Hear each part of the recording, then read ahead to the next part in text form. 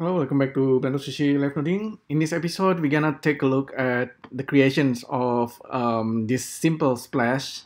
Basically, this is Blender 2.8 and I'm using Eevee rendering and as you can see, this is um, actually real time. It's quite nice. Um, the refraction is not, uh, maybe not really working properly on my Mac, but let me try really quickly get rid of the metallic so anyhow this this guy is supposed to be water and it should refract the background. It does refract the background but we cannot see the monkey head. But anyhow let's uh, look at this uh, liquid. And if we go to the camera view we can see the liquid. And then if I render this out it's gonna be rendering almost in real time this is actually um, Blender 2.8 Eevee and it's kind of rendering really really fast and in just under 100 seconds. We're gonna get a result and let's have a look.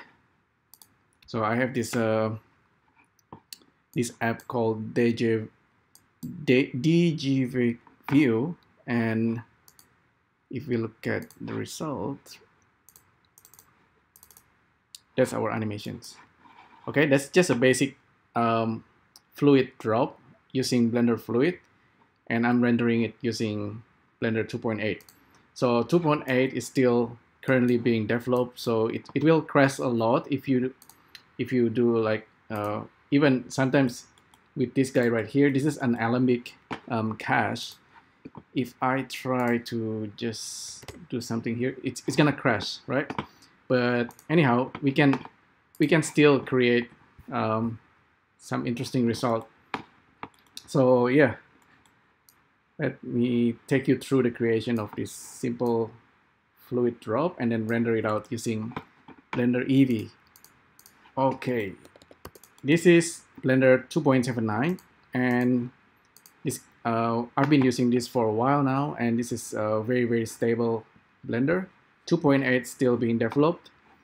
And yeah so I'm gonna do the fluid simulations using 2.79 and let's save this as simple splash 002 whenever you are doing like blender fluid it's a good idea to save it inside a folder just in case so you don't accidentally delete the the cache previous cache so fluid 001 save it. Create a cube. By default the cube is two meters. You can make it smaller. Oh. Yeah I think smaller. Or it doesn't matter. Just leave it like two meters. And this guy is gonna be our fluid domain. So create fluid objects assign domain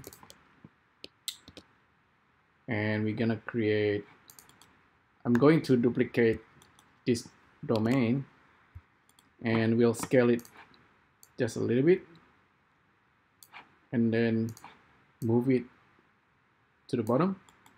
And this is gonna be um, our fluid you know like uh, just water at the base of the domain.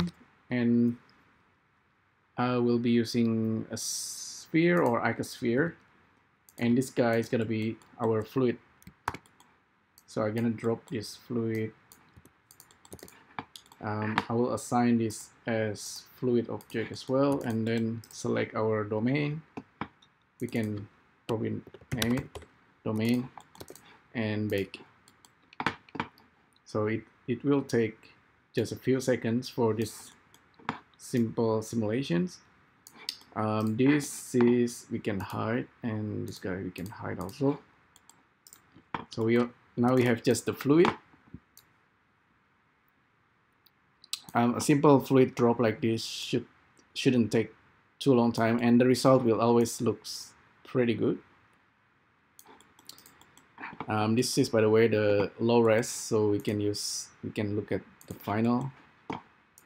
So this is pretty good. This is like 65 resolution at 65 you can always increase it to 200 it won't take long. So let it simulate a little bit. I think for this demo I will just leave it at 60 frame maybe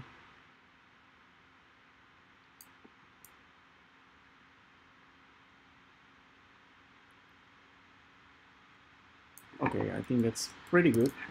Let's just stop it there. Smooth it. So this is our fluid. Now we're gonna bake it.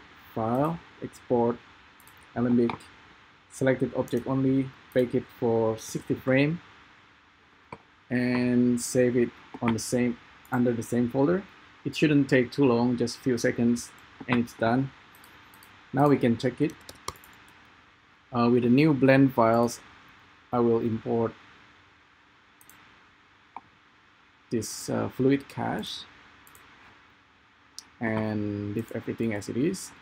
So this is our fluid 60 frame. We can scrub it. It's really fast once it's become alembic. And now this is the this is the key okay? I'm gonna save it as fluid alembic 001 this is something that we're gonna open using Blender 2.8 so with this Alembic we can turn on override frame and here with the frame I'm gonna be using simple Python. Just assign a frame number and divide it by 24 for a second. Now this guy is being controlled by um, this value. I think I'm okay. I'm doing it wrong. It should, it should be just a frame. Okay. Um, just in case you haven't turned on the Python, there's this thing called auto run Python script. This this guy should be on and save user settings. Okay, now this blend is ready and we can render this out using Blender Eevee. I'm gonna leave this Blender open and I'm gonna switch to Blender 2.8 so this is the one that I have this versions and then I will call it this is using Mac so this is how I call it with this option enable copy on write. We need that because we are using um, Alembic modifier. So this should be run like this and then now Eevee is open. I can just open the blend files. Once I open it I can save it as new version and normally I just tag it like that Eevee okay now this guy is ready to be rendered using Eevee render okay? Eevee and we can we should assign it some kind of material. So I'm using principles and then we just gonna give it an environment texture. So I have HDR library here. Let's find the one that's interesting. Look at that one let's take a look at this. So this is now running in real time. Selected objects. Maybe give it like metallic look. That looks pretty cool. Reduce the roughness. So I like the metallic look. If you want with um with a base color you can give it like magic texture it's always kind of interesting. This texture is very, very interesting once you give it a small scale and then distort it a little bit. Right, that looks pretty cool. Now we just want to render this uh, fluid. Let's create a um, camera and then go to view, align active camera to view and maybe just move our camera a little bit. I'm doing it this way because because there's a still like a bug with this blender. It's still under development so. Okay now the camera is looking at our fluid. Everything is good. We can just render this out. It will actually just work. The way we set it up it's not gonna crash. It will actually render because um, this simple Python code is controlling the override frame for our Alembic cache. So we can just uh, render this but uh, I'll reduce the sampling to 1 so just like that.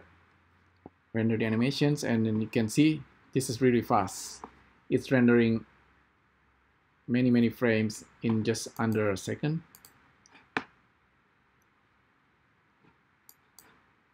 file open temp. There you go that's our fluid. I guess that's the advantage of um, Eevee renderer of course. It's very very fast. Especially uh, if it's actually doing the refraction thing properly it's gonna be so cool. Uh, let's try that. Remove the metallic make trans transmission to 1 this guy is actually kind of refracting the background you can see.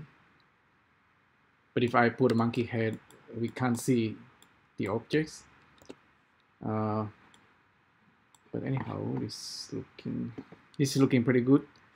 And if we if I go back to the camera view active camera so this guy is now looking different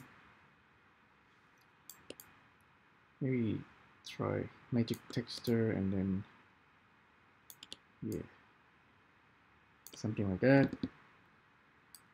Metallic a little bit specular roughness. Less roughness better for transmission.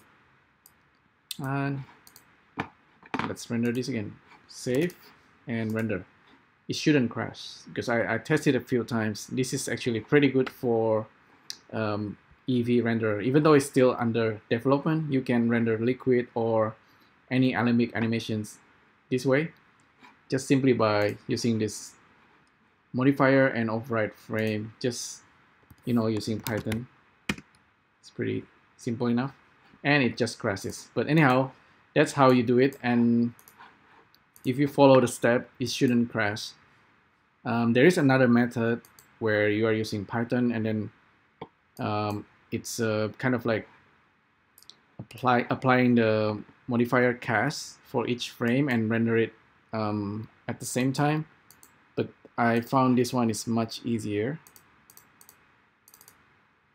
There you go. That's the fluid. And yeah hopefully you find this useful. If you want to experiment with Eevee uh, this is how you might want to render um, your Alembic okay? So there you go. Hopefully this is useful let me know what you think and I'll see you next time. Thank you. Bye